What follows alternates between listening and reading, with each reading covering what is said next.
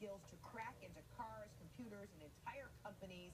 Laurie is with us now with the on the special "The Secret Lives of Superhero Hackers" that airs this afternoon at 2:30 Eastern Time. So this is this really is an, a fascinating world. It really is. And I got to know so many interesting characters in this world. And, and what I learned, Fred, is everyone hacks for a different reason for power, for glory.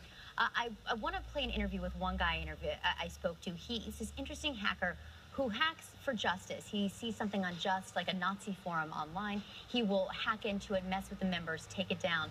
But then how he makes his money is he sells hacking tools on the dark web to anyone. Listen to what he said to me.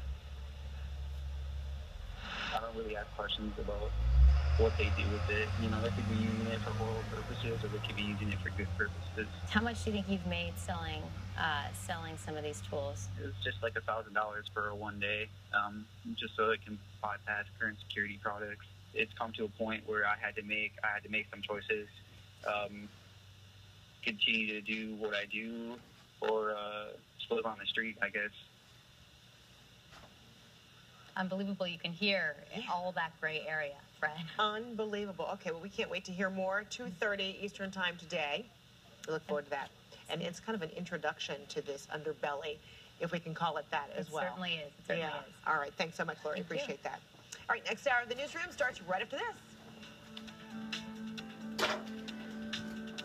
If he's cutting off anyone's freedom of speech and stealing money, Enjoy that's CNN's idea of a hero.